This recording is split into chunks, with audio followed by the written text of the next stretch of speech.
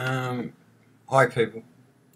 The dreaded electricity bill. You just go through this because it's if you if you live in a in a flat these days, it's just um, with other flatmates. Boy, doesn't cause them arguments when your electricity bill's over a thousand or two thousand dollars. Um, so that's the reality, and there's nothing we can do about it this argument, climate argument, will go on for years. Um, so, to read uh, what I did find out when you uh, that my electricity bill hasn't been read since I've been in my place, and and I that that shocked me, and so I I learned how to read the meter.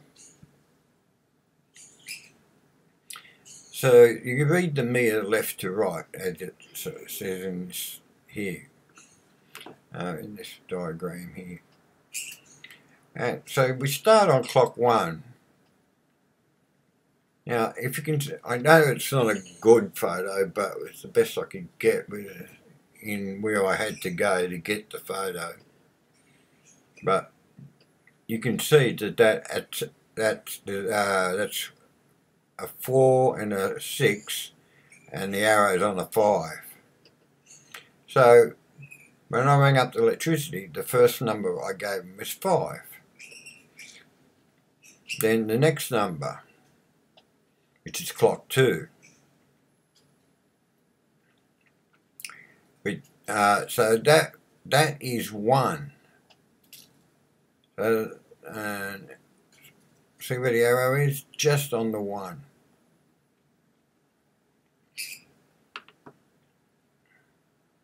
Clock three is on the one. Now, I'll give you a tip.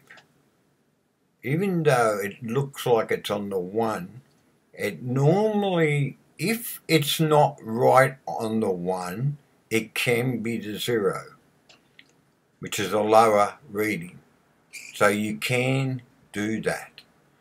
Um, but make sure, but as long as there's not going to be a double check. But that that that so it's it's not always on the number, bit bit bit bit, bit iffy. But if you wanted to cheat, you could go to zero on that instead of one, just because it's so close. Uh, clock four that's clearly right on number five. And clock five, well, that's clearly on number one.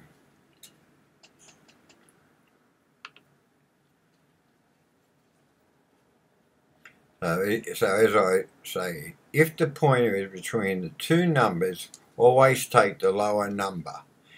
And I was told that by Origin today as I was reading it out.